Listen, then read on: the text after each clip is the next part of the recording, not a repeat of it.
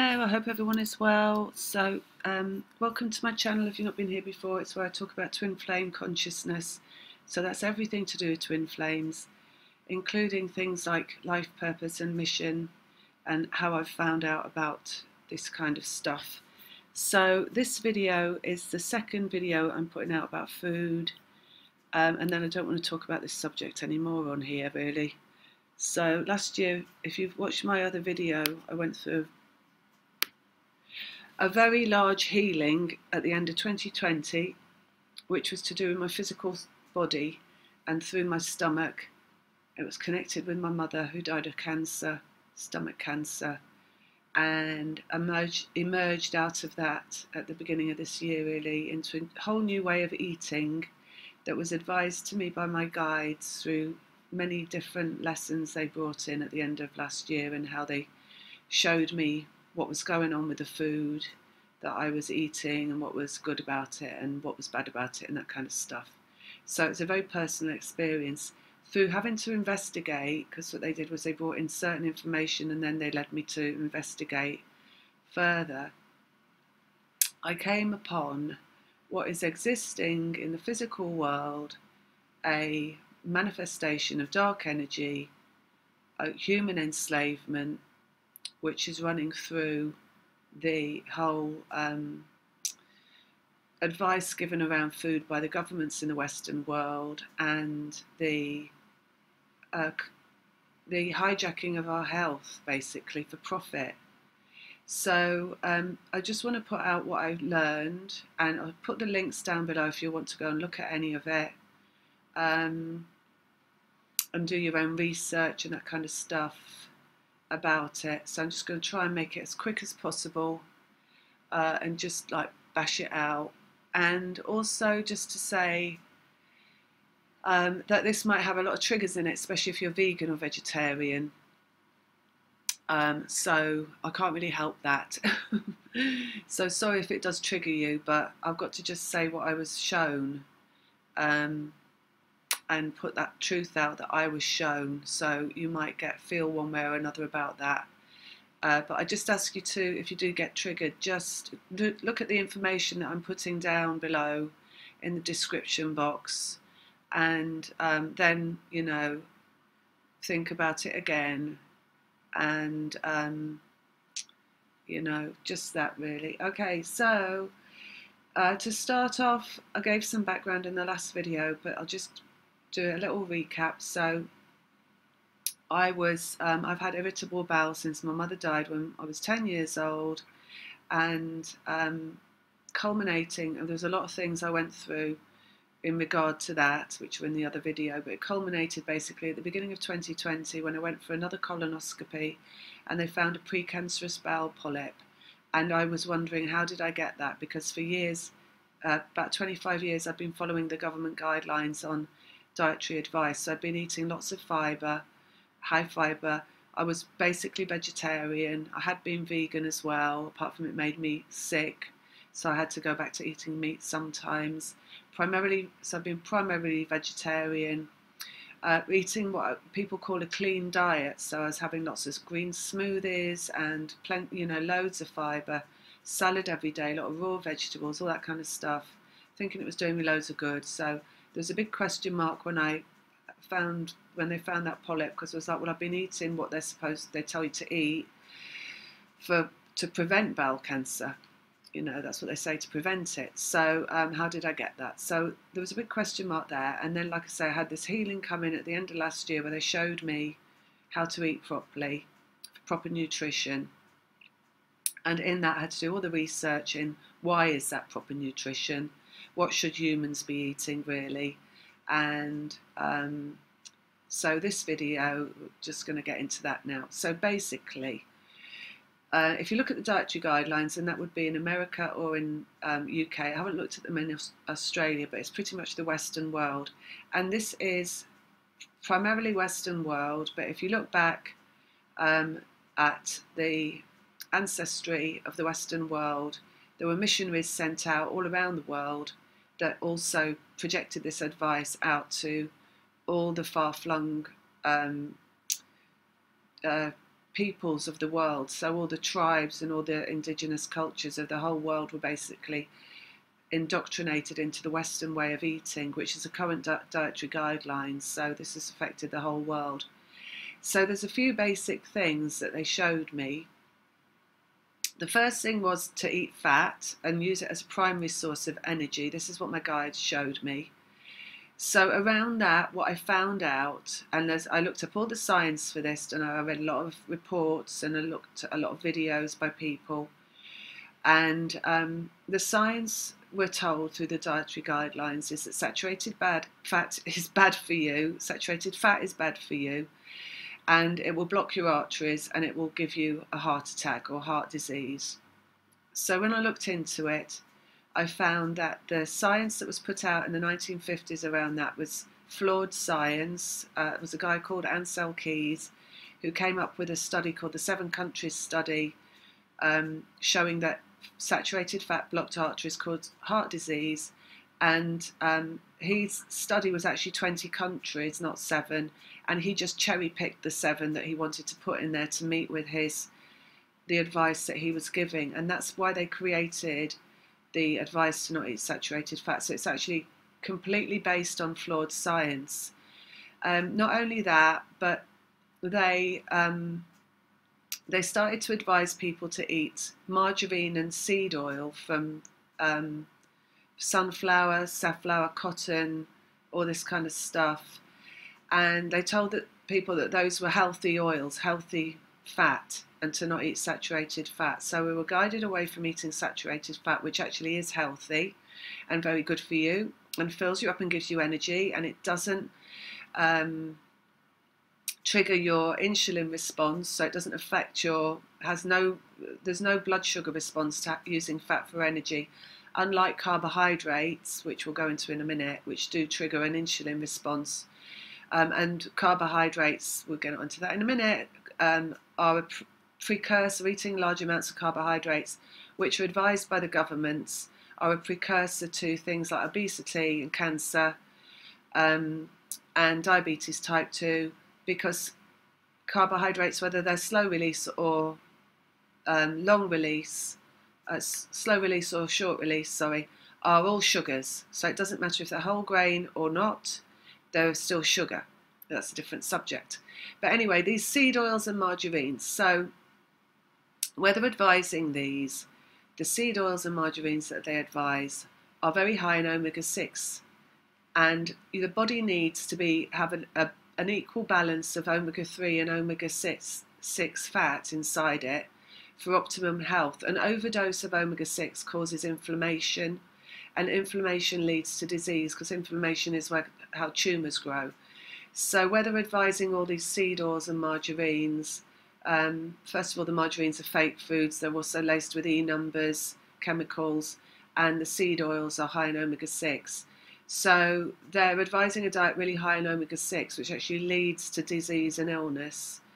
And rather than a, a, diet high in saturated fat, which saturated fats, if they're coming from animals that are fed on grass, are going to be really high in omega 3 and very beneficial um, one thing they have got right that they talk about is omega 3 being beneficial to heart health.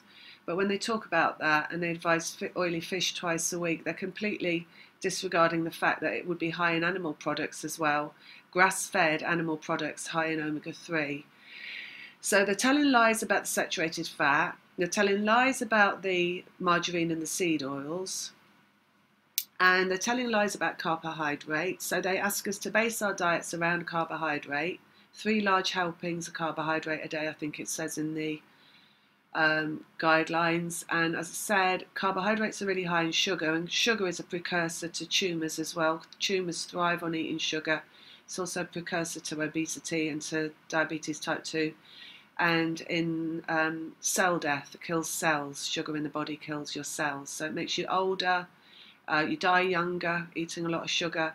So um, and where they're saying that we should be eating whole grains and whole wheats in place of refined carbohydrates, they are slightly better because they're slow release carbohydrate, but they're still carbohydrate. So they're still not telling us to base our diets around saturated fat, which would be optimal for health.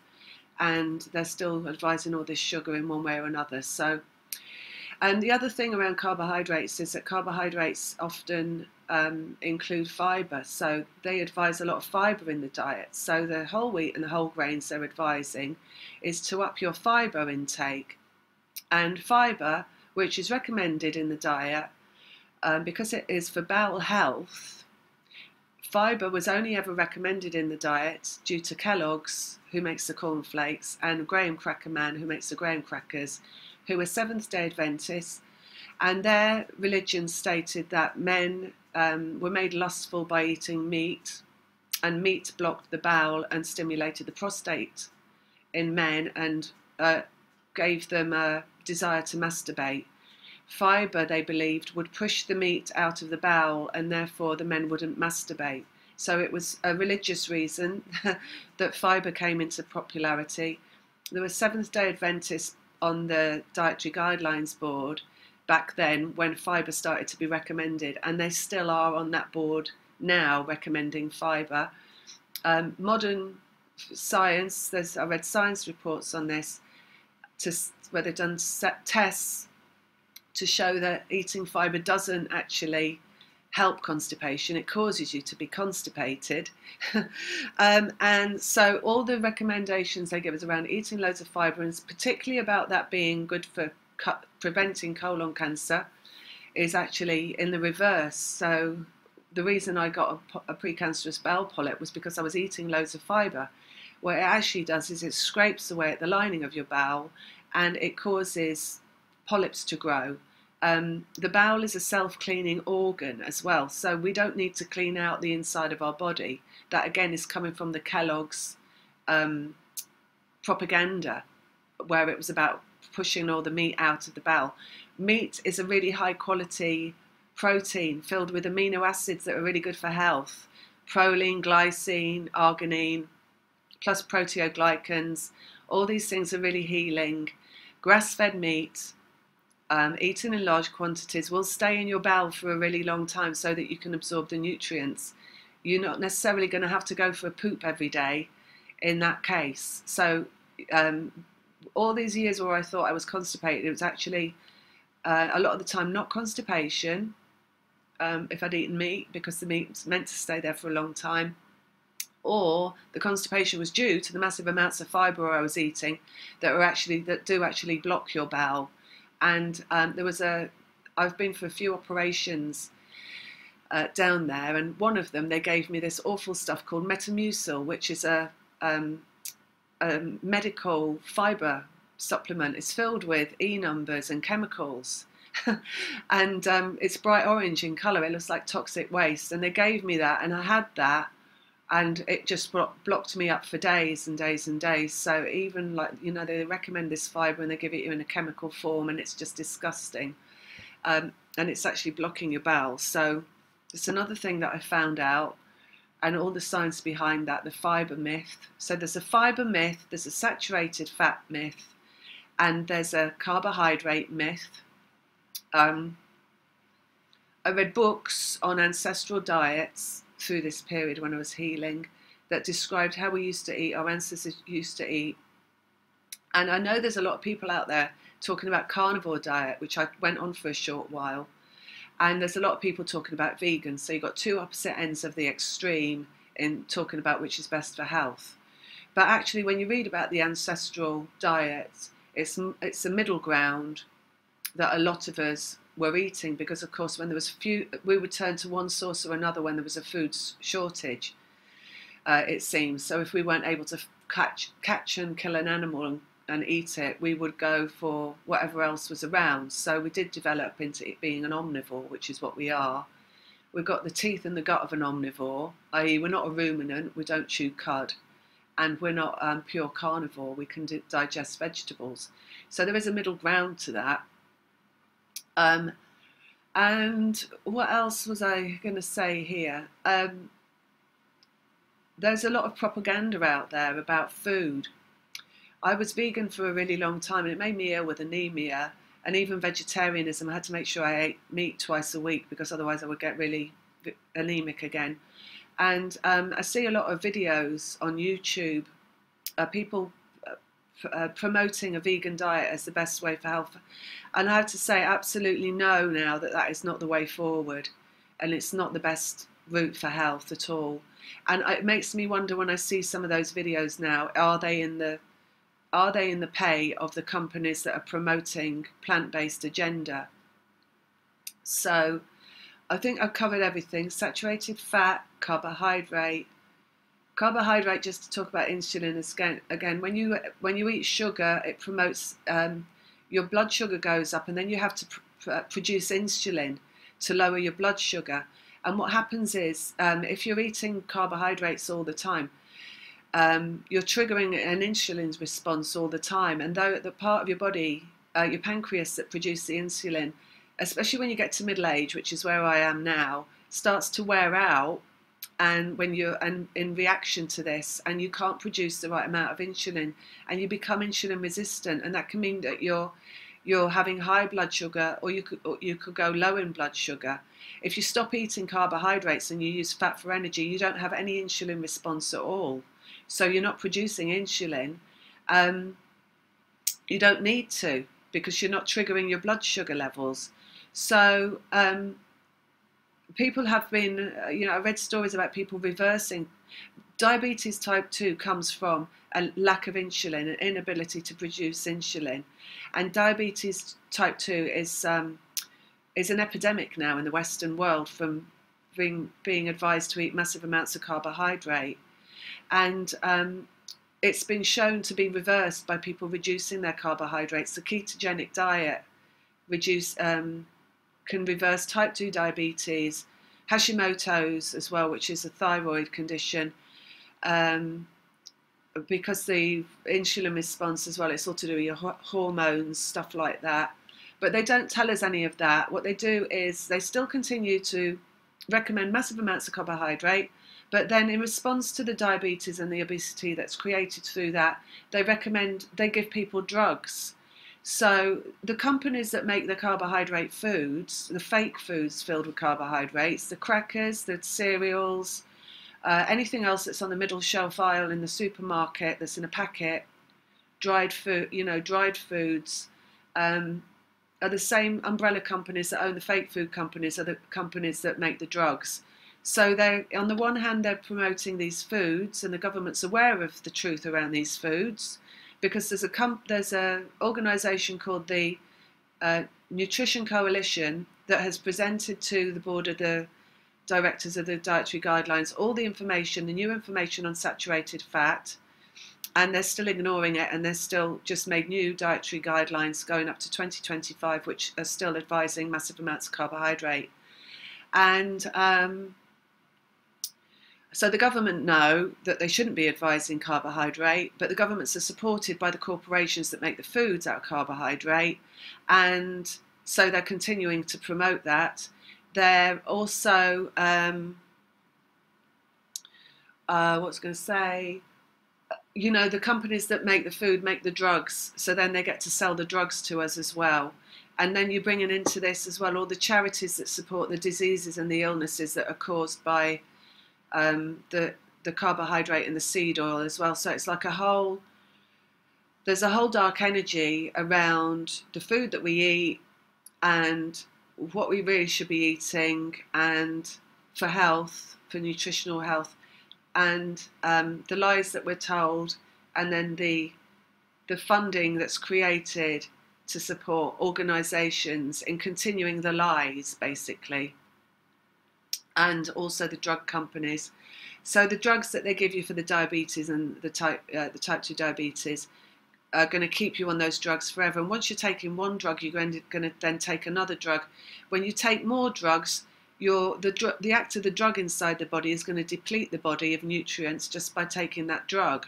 Things like um, statins and um, what's those other things called that they put in that are um, uh, to control your hormones.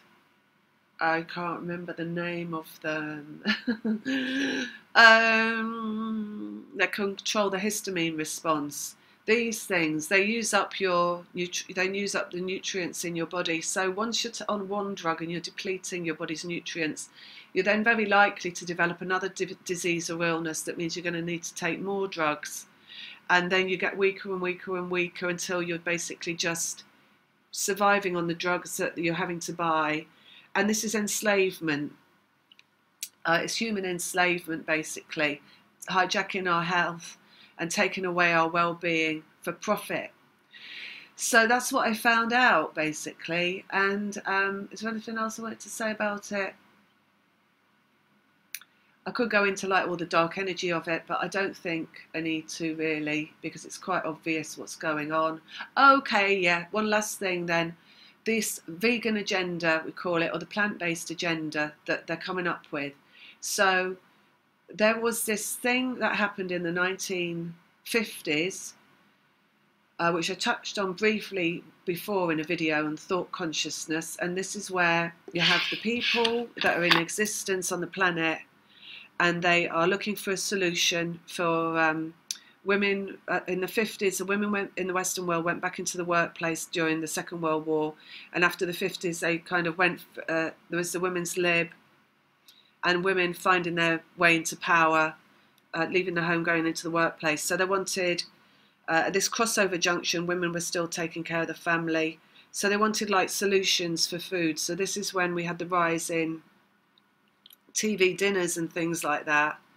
So in thought consciousness, there was a lot of ideas being put out and creating TV dinners, fast food, all that kind of stuff. You know, there's good and bad to every decision. Everything that comes from enlightened thought can be a you know, looking for a solution, it's not necessarily a bad thing, but also in dark consciousness, in ego consciousness, you've got what is narcissism, and narcissism is always looking for a way to manipulate and control humanity and enslave humanity. So they're always going to take whatever enlightened idea there is and they're going to manipulate that into something that's using people for profit. So basically, all that that came in the 50s and then following on in the 70s, and again with the rise in fake foods basically. And I don't know whether you, where you live, but I know in England we had things that were seemed really exciting back then, like cuppa soups and pot noodles and stuff that were just like instant food, you know. Um, uh, so all that came up in the 70s. And then um, it's rise into this fake food. So if you look at that and you look at that that was created and you look how that hijacked our health back then, because those fake foods are filled with chemicals, you know, basically things you shouldn't be putting inside your body at all because they're not food. Food is something that walks or grows. So um, there was this, uh, then a corruption of that uh, fast food energy. And of course, the manipulators came in, dark energy manipulators were like, we can make a buck out of people with this. And then illness started to be created through eating more fake food and um, more carbohydrate based snacks, crisps, all the things that are available from shops that weren't so much before, you know, the rise of the cookie, the rise of the biscuit, the rise of the snack, and um, and all this obesity. Something like 74% of the American adult population is obese. Uh, and sorry, but it did all start in America, and then it passed over to England as well. So England caught on to it all a bit later but they're catching up now. um, so got all this going on, right? And the corruption of it, and people's health declining. And then at the same time as that, you've got more drugs coming in to help with this decline in health, and people going on to more drugs for the diabetes, more cancer, more heart disease. So, despite these government dietary guidelines that came in um, from the 50s onwards as well, uh, until I think 19, 1995 was when they'd got it down to us eating meat a couple of times a week. Not recommending grass fed meat either, just red meat, keep it at minimum. Don't eat any saturated fat. Make sure you eat loads of fibre in the form of vegetables and fruit. Well, for a start, fruit is really high in sugar, so again, then you're leading yourself to cancer by eating lots of fruit. Um, it doesn't matter if it's natural or not, it's still sugar. Sugar makes tumours. And uh, what else were they telling us? they were still not guiding us away from the fake foods, the food in the packets. So they weren't saying make sure that you eat um, meat from animals. They were, you know, if you go on the dietary guidelines of the USA and you look up a certain nutrient, a lot of the time the first thing you'll see is a box of cereal. They'll put a box of cereal at the top of the list and tell you that that's got the nutrient that you need in. So they're still counting these fake foods as real food, which of course they're not. And um, so you've got all this going on. And um, as it goes on, so we're, we're, you know, this is through the years, so we're moving into like the um, the 2020, the 20th century, 21st century, the century we're in now. So what they got here in the 50s to the 70s. So if you look at them, their aim, right, dark agenda, the aim is to enslave humanity through food. One of the avenues, because there's many ways to enslave humanity. There's other things going on that's enslavement, but this is the one that I was drawn to see, is that they they wanting to bring everyone into the same loop. So they're wanting to draw everyone away from real food. So first of all, they're doing it through the fake foods, which are easy and simple. So they've got people that aren't really concerned about what they eat, people that just want quick decision, you know, quick people that want food. So all those people, and there's many of them that just live on fast food and things that are uh, ready-made meals and all that kind of stuff, and they're not even um, thinking about whether that's food or not. And then you've got all the labels on that fast food and that uh, TV dinners and easy food that's saying less fat, um, but not telling you it's filled with sugar, that kind of stuff, these lies. Because advertising, of course, loads of dark energy in advertising. They can pretty much say what they want unless the government tells them not to. And the government still re recommends that we don't eat fat, saturated fat. So they can still put that in a packet and lead you to think it's healthy, despite the fact it's ramped with sugar, ramped with carbohydrate, ramped with chemicals, ramped with E numbers, etc. So they got this group of people, and then they're moving on to um, people that care about animals. So they use the empathic. They've used your empathy against you in terms of that. I mean, I used to be somebody who wouldn't eat meat because I didn't want to eat something with a face.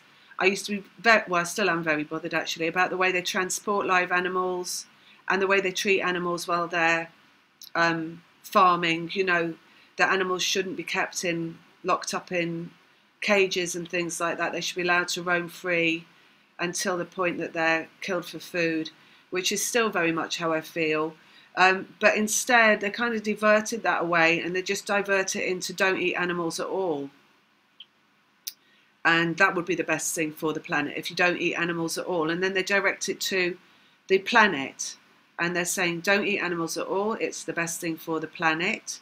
They're saying don't eat animals, it's the best thing for the planet Focusing on the planet is the best thing for future generations. And we mustn't eat animals because animals animals create methane, and methane is causing climate change. And we need to focus on future generations, and we need to focus on compassion for the planet.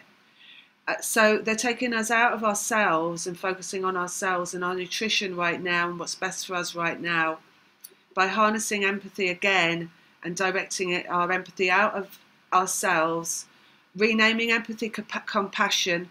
So narcissists rename, they take empathy and they rename it compassion. And what they do is they take you away from feeling for yourself and doing the best thing for yourself by telling you that you that you must put other things first, right? So that's the again the enslavement by the corruption of your own empathy and directing it towards something that's out there in the future that if you know to basically if you don't focus on your health now your nutrition now there won't be any future generations because we'll all be dead from diabetes and cancer and type 2 uh, type 2 diabetes cancer heart disease that they're not helping us come to the right conclusion of with the dietary guidelines. So they're just it's all reeling us out of ourselves towards certain death basically. And we all, you know, we all die, but hopefully not as soon as they're aiming for us to die with these guidelines that you give us, and also worse than death, which is being alive in a body that doesn't function properly. properly. You know, that's really that's death in the now when you're even alive, like a reliance on drugs, because that could have been just corrected by the food that you were guided to eat that was a proper food. So this plant-based agenda, this vegan agenda, is now how they're hijacking even veganism, right? If you are young, you all see these vegan vegans, they're all young, right? If you're young and your body's functioning healthily, you can get away with eating lentils and nuts and chickpeas and all these things in the mixture with the rice and the um, the beans and everything, you know, to give yourself a full range of amino acids. And a, a, young person's body can put up with a lot of shit, to be quite honest, before it starts to let you know it's going wrong. And I was vegan and I was vegetarian when I was younger, and I never felt any ill effects at all from it. But of course, when you get older, your body needs better nutrition. And um, this plant based agenda you'll see in the supermarkets now, in the freezer, they've got all this vegan food, but it's not even proper vegan food. It's fast vegan food. and it's things that are made, they call it plant based. Um, so, what they're doing here is they're telling us to focus on the future of the planet taking us away from our own health right now, telling us the animals are causing the climate change, the animals that graze on the grass, um, telling us to eat plant based vegan foods that are fast foods that are in the supermarket shelf now. Um, so, even more directing us away from proper nutrition, meanwhile, destroying the topsoil of the earth because topsoil is created through animals grazing. And if animals don't graze, we're not going to have any topsoil left. And already the topsoil is dwindling on the planet. And if we don't have topsoil, we can't grow plants in soil. And we'll have to grow them, which they're doing now as well. These fake food companies are growing plants in aircraft hangars, in factories, in chemicals. And if we grow plants in chemicals, they don't have the nutrients. Minerals come from the soil the plants are grown in. They don't come from the plant itself. It has to grow in soil. So then we're going to have a reliance on synthetic vitamins to replace and minerals to replace the vitamins and minerals that they're telling us to not eat in the real meat that's really good for us that contains a full range of amino acids and in the it's not going to be in the plant-based food in the supermarket shelves that's the vegan agenda and um, will have to buy their synthetic vitamins, which will be made by the drug companies to get any vitamins and minerals at all. And other things as well, all in this agenda that, that's going on, is sunscreen.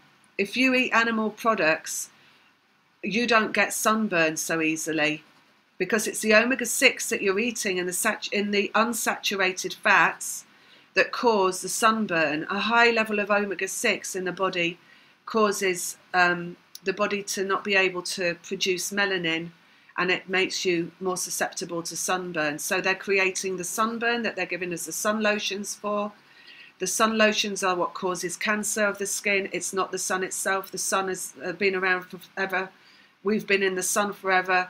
Sun skin cancer from the sun is a relatively new thing, starting in the 70s when they started to feed us the fake foods. And um, and then we come on to so all this stuff right and it's all in it's all hidden because the government won't tell us the government still just promotes this agenda um, and it's shocking and it's shocking and it's shocking that you that people don't know and that people still think that heart disease is prevented by eating these fake uh, this um, fake margarine and seed oil and they still think that saturated fat blocks arteries. I read a book by Wolfgang Lutz, who did experiments as way back as the 1940s in chickens that showed that uh, saturated fat does not block arteries. And um, he had uh, his book, My Life Without Bread. He was a doctor in Austria and he healed loads of people from disease and illness through low, low carbohydrate diet. They know there's been trials and tests, low carbohydrate can um, reverse autism. It's really good for reversing autism. It's also really good for um, um, epilepsy. So uh, if you watch, there's a movie called Fat, the movie, and there's a guy in there who reversed his son's epilepsy. His son was having multiple seizures every day, and they stopped the carbohydrate, and he instantly stopped having seizures. And when they speak to the doctor, they'd been to loads of doctors before this, and asked the doctor about why didn't he advise the ketogenic diet in the first place. The doctor said because we hadn't tried every drug that was available. so doctors, you, you know, it's not about the doctors because a lot of them are well-meaning, but they're not taught nutrition. They'll tell you themselves. They're not taught about nutrition. They have to go and find it out later, like Wolfgang Lutz did in own experiments, because the agenda is hiding the truth. There's a woman called Nina Teicholz who wrote a book called um, Big Fat Lie, and she went into these seed she went into these uh, science to these scientists who were doing science on saturated fat and seed oil, and they were coming out with the truth around saturated fat. And when she said to them, "Why isn't this science being put out there?" and they said, "Because we have uh, margarine companies coming along saying, telling us we have to bury it. They're the ones that are paying for the science, and they're telling us to bury it because they don't want people to know." So um, all these lies still being perpetrated about how we eat. And then lastly, just to say about COVID. So there's one thing come out already, which is about vitamin D helping to prevent COVID. But there's bigger agenda than that, right? I mean, even that's not in the media. You have to search for that, I think, on YouTube. I haven't seen it. I, I don't watch the news, so I might be wrong, but um, I get a lot of stuff popping up in my feed on my YouTube about nutrition because I had to do a lot of research on this. So I get all the truth coming up. Vitamin D and COVID, and um, it being it's preventing COVID. As you know, vitamin D comes from the sun, and we're all told, told to wear sunblock all year round, aren't we? Because the sun's supposed to be dangerous. Of course, the sun isn't bloody dangerous. It's life giving, and um, the other thing is not just that in relation to COVID, but the vulnerable that we're in all, all in lockdown because of the vulnerable. And the vulnerable are those that are obese, type 2 diabetes, that already have cancer, that already have heart disease. Those are the vulnerable. So if the government's just told people how to eat properly and really nutritious diet based around grass-fed meat with lots of that every day, broth filled with all the amino acids, gelatin, which is a healer for the body, and reducing carbohydrates and reducing fruit and pr properly preparing vegetables, which should be boiled to get rid of the oxalate content because oxalate is a poison. They should be soaked, they should be um, sprouted, they should be fermented, they should be mixed with dairy or citrus if you can, if you can tolerate dairy. If not, olive oil's good to negate any toxins in the vegetable before we eat them. And not so much because fibre actually causes colon cancer, it does not prevent it. Um, so if they told us the truth, we wouldn't have so many vulnerable, we wouldn't all be hidden away in our houses, having to wear masks, and having to then also pay all our money to the governments in form of taxes that our government then spends on vaccines to the same people that make the fake food and the drugs that heal the disease. No, they don't heal the disease. They keep people functioning barely alive with the disease until they inevitably die from another disease that, is created from the drugs they're taking for that disease. So that's the dark agenda around food. Uh, one last thing to say that I'm going to say because it's in the other video that I put out. So my mum died of uh, stomach cancer. My mum had around her all the time. This is one thing I remember when she died when I was 10. She always had around her um, antacid medication, either the bottled stuff or the pills. So she took those all the time. This was before she got ill and I remember seeing them always. So she, I know she had something. Obviously, she had these are for acid reflux. She had acid reflux, right? So for acid reflux, we're advised to take antacids. as antacids do nothing for acid reflux.